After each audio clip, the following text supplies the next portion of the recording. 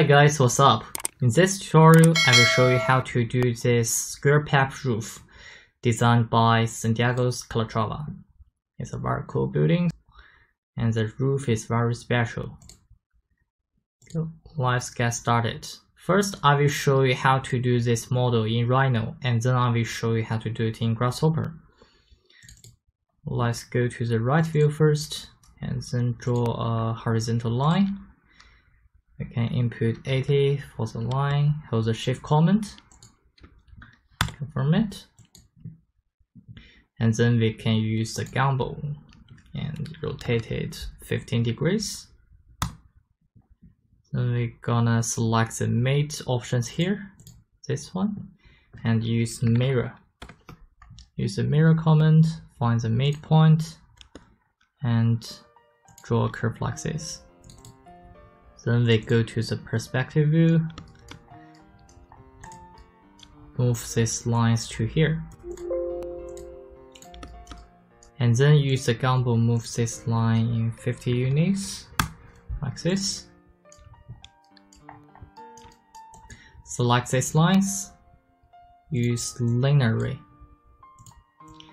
This one, linear array command, select the objects, press enter, input the number of items, maybe 10, uh, maybe 8, press enter, and draw the direction line, maybe from here to there. Hold the shift command, and here we need to input a hundred because previously we input 50 for this gap. There are two gaps, so we need to input a hundred do it like this. And then we're gonna create the surface for the roof. We have already have many lines like this.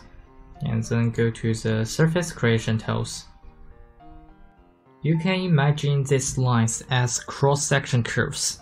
There are many cross-section curve lines. So which command should we choose? We can use loft command right click loft and select normal. You can't use loose otherwise it will be like this. Choose normal and do not simplify. Click ok. Delete all the lines. Delete it. And then open the control points.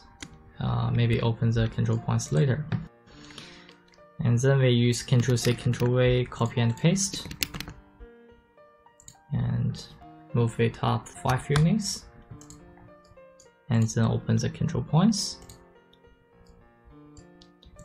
Maybe select this one and adjust the form by using these control points. Move it a little bit upper. Maybe a little bit more. Like this it's much better and then adjust this one. Turn on the control points. Move it like this. Oops, wrong one. This one.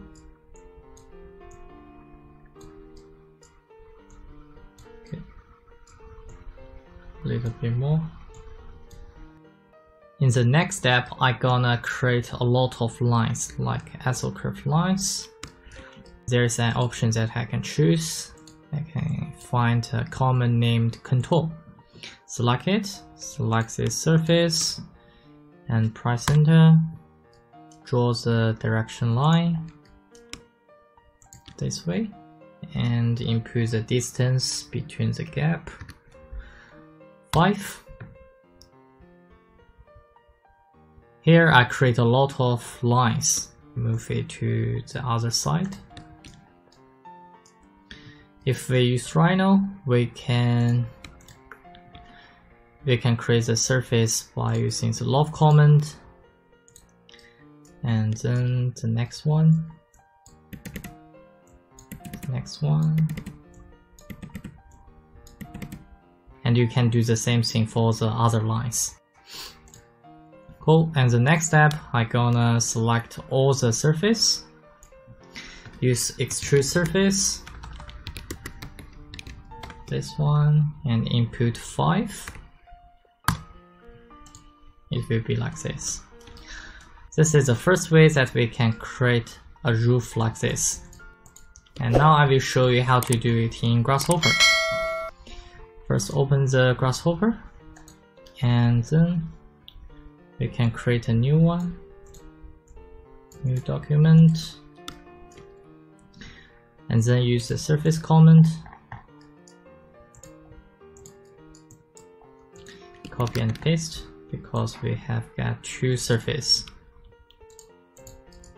Site one surface and then another one. Site another surface. We can hide this surface for a moment. Add all of the other surface. Okay. And then we're gonna use the contour command go to the intersect and find the contour from here.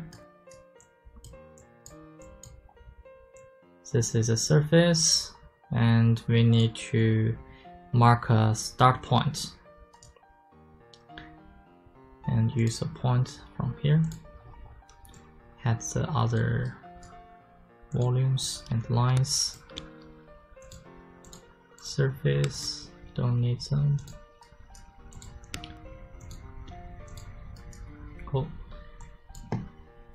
and then use a point.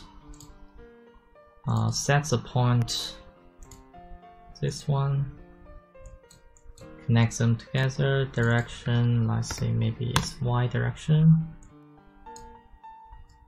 Let's double check it.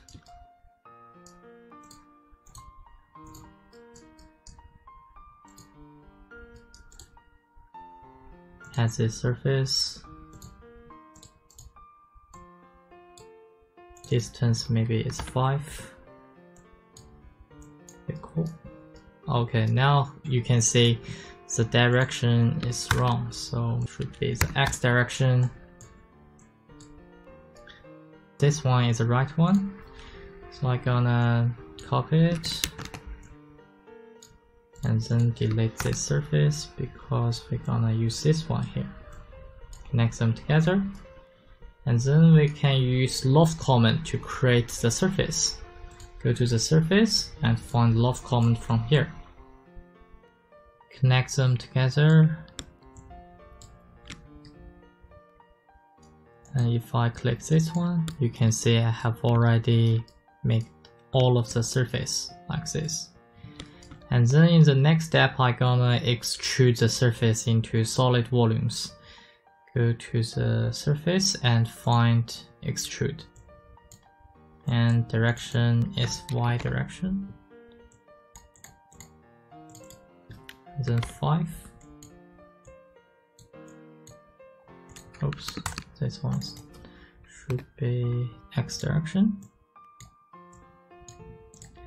Okay this is the right one.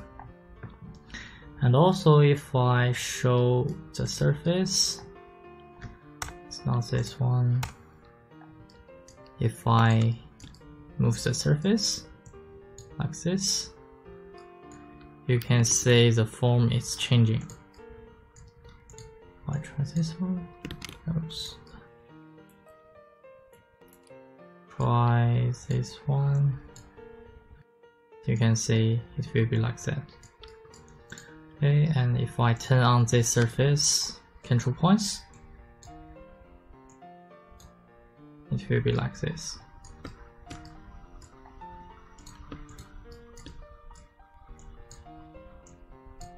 If first one doesn't move because you didn't turn on the record history column here, you should turn on always record history, this option, from the start point. Cool, this is the end of the tutorial. If you wish to learn more about the Grasshopper, please come to our website and purchase the Grasshopper courses. This is the end of the tutorial. Thank you for watching. Hi guys, how's it going for the tutorials? Now I'd like to share something with you. As you know, you can watch tutorials on our channel, but for those who have just started with 3D modeling, or who's interested into having more details and wanting to improve their Rhino skills, we have designed a series of architecture modeling and design courses for Rhino and Grasshopper. Come to our website rhinoarchschool.com, first link in the description below. Let's see how it works. Open up your browser and type rhinoarchschool.com. You can join our Rhino architecture design tutorials from beginner to advanced course. The first one is unlimited time course, the second one is monthly payment course. They are the same courses, just different purchasing method. Throughout these courses, you'll get a step-by-step -step approach in learning how to model organic architectures, parametric architectures through interesting case studies and famous architects projects. For example, Zaha Hadid's projects, MAD projects, Big Architects project, Shigeru Ban projects, and many more. Join our professional architecture course and design your own miracle. Also, if you want files, materials, or YouTube tutorials, you can access them by becoming our blog members. You can find the link in the description below. I'd like to thank all our blog membership supporters, it really helps us create even better and more tutorials. If you like our tutorials and would like to see more, please click the like button and make sure you subscribe our channel as we upload new videos two times a week.